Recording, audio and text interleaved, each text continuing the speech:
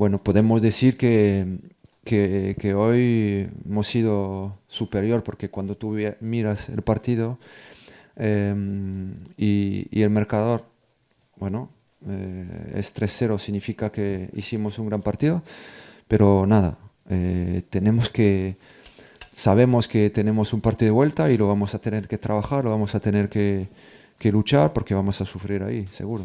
¿Qué te puedo decir? Que es el mejor jugador del mundo y que siempre nos ayudas cuando nosotros necesitamos a, a él y hoy otra vez ha sido un, gran partido. Yo creo que el, fútbol es, lo que sucede en el campo y hoy el rival fue mejor, sobre todo en lo concreto que fue.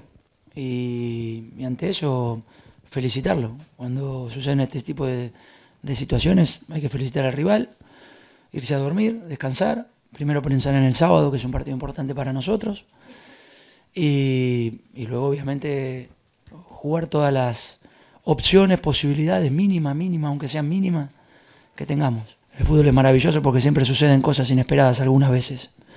Yo sigo creyendo que todavía tenemos opciones.